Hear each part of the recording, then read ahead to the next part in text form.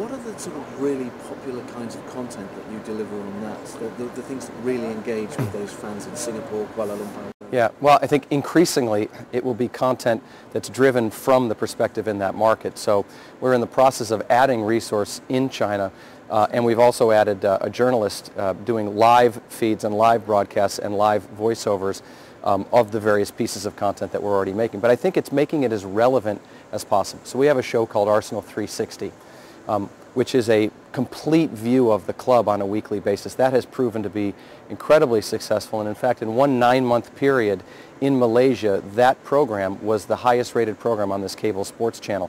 It was actually more highly rated than live Premier League programming during that period of time. We were able to drive a big audience there, I think really by virtue of the fact that no one had ever done anything like that before, and we had taken that marketplace into consideration when we had put that show together. Uh, increasingly in markets where language is a big barrier like China, as I said before, we've got people with microphones in their hand speaking the local language, talking about things that they know are relevant to the people back home.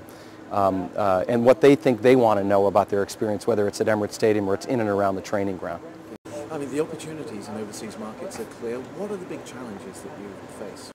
Well, they're very far away. Um, uh, they require a lot of effort to pick yourself up and to move over. Um, you know, you've got the cultural barriers, the language barriers. Um, and, and, really, because they are such big markets with big potential, one of the biggest challenges we have is trying to identify where to prioritize our limited resource. I mean, that's one of the biggest challenges. You've got so many growth markets around the world. I think depending on how you define an emerging market, you've got a third of the world's population today living in cities that would be characterized as cities in emerging markets. We're a football club. We have 380 employees. How can we possibly begin to attack all of those opportunities. So that, that's, a, that's quite a big, big piece of it. I think another challenge is moving away from the traditional model that football clubs typically operate, and that really is centered around your stadium and, uh, and match day. You know, there's a reason that 40% of our revenues come from our stadium. That has been the focus of football clubs. They believe that their business is in monetizing the audience in and around the stadium. You've got to think about your business, and we are no different. We have to think about our business in a far broader way in order to begin to capitalize on the opportunity that's represented in all of these developing markets. And who now do you see as your competition in these markets? Is it local sport? Is it other football clubs from across Europe and beyond? Or is it hmm. even other leagues like the, the, hmm. NBA, the NFL are very well organized and very ambitious in the same market? Yeah, I think certainly all the people you mentioned would be competitive uh, because they're out in the market having conversations with the same broadcasters trying to get make the same inroads with them. They're having conversations with many of the same brands. I mean, everyone you mentioned as our, uh, as our competition would have loved to have the types of conversations we had with Emirates Airlines and had them as a partner and had been able to extend them. So we are in competition for those corporate dollars and for the, the, the media distribution. I think as I, I look at our model and think where we're potentially vulnerable, I look at the NBA and, and the, uh, the leagues that are doing all of their business collectively and I think that scale uh, gives them a, an advantage. When I go into an, emerging market, as I mentioned before, we have a small staff and a small team of people.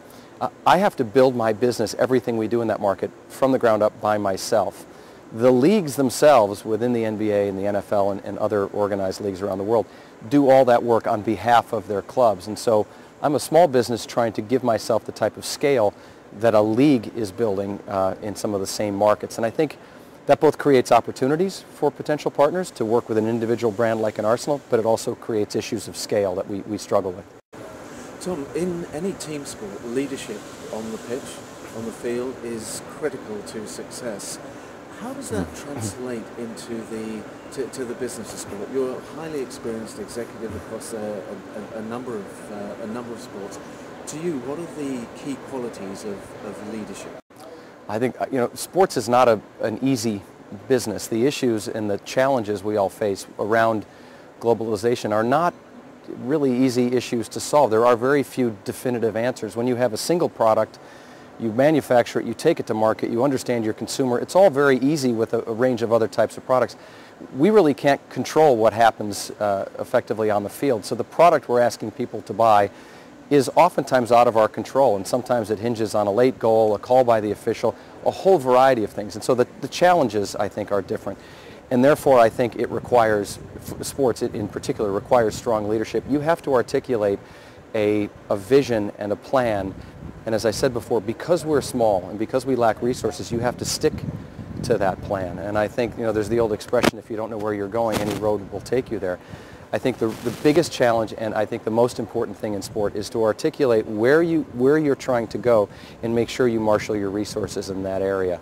Uh, we've tried to do that very effectively. We're lucky we have an incredibly supportive board that has shown amazing leadership. We have an, a, a, a I think, a, a, really well-positioned chief executive who leads from the top, and we've been able to drive through the organization the idea that as a football club, we can actually be leading the industry as we look to build a sustainable club that stands on its own two feet. And I think everyone in the club feels that sense of leadership, and I think it's, it's incredibly important in sport.